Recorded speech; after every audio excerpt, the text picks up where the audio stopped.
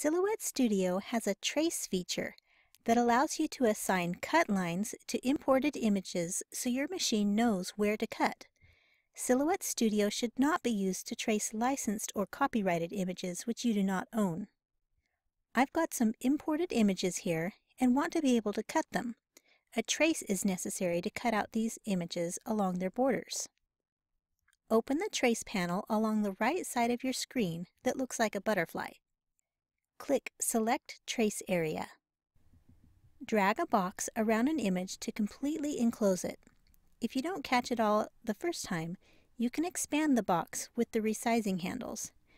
Typically, you would trace one image at a time, but I want you to see the difference between several examples. Your image will start to fill with yellow.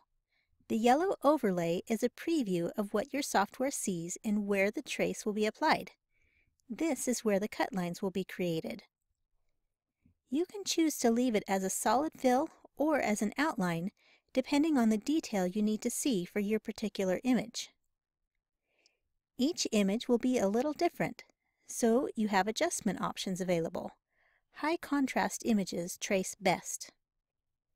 Threshold determines how broadly the trace filter is applied to your image, beginning with the darkest colors on the low end of the scale. As I drag the percentage higher, it picks up more of my design. White areas won't trace. Threshold is the most common adjustment you will make, but there are a few other features below.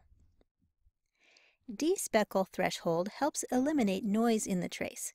This isn't necessary for all images, but can be helpful if you have extra small spots that you don't want traced. High Pass Filter allows trace lines to work from the outside edge in towards the middle. This is good for creating a basic frame outline for your image. In these examples, it might work well for the hamburger and the rectangle if I want those thick framed lines. Low Pass Filter allows trace lines to start at the center of your image and work outwards. Higher values recede from the edge. Scale controls the smoothness of pixelated edges of your image. Higher values will be more pixelated and lower values smooth out the edge. The initial trace is quite pixelated when tracing these leaves, but decreasing the scale allows it to pick up better detail. Once you've got your trace area the way you want it, you have three trace style options. Trace creates all outer and inner lines. This retains the voids and details in a design that are not filled with yellow.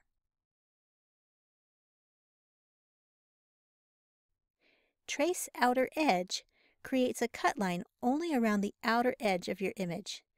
This is a good choice if you want to create a print and cut image that isn't filled with holes in the center of the design. Trace and Detach will actually cut out the image from the background. This is helpful when you need to remove that white background so you can overlap images or have more room to get designs closer together on a print and cut job.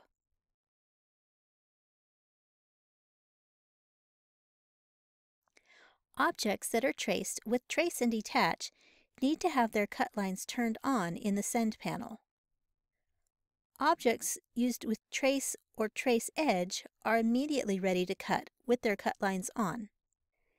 As I mentioned, tracing will be different with each image. Not every design can be traced effectively, especially if it has low contrast.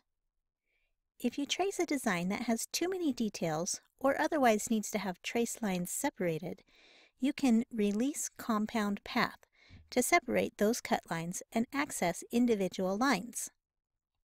For additional trace features like Trace by Color and Magnet Trace, you can upgrade to Designer Edition or higher.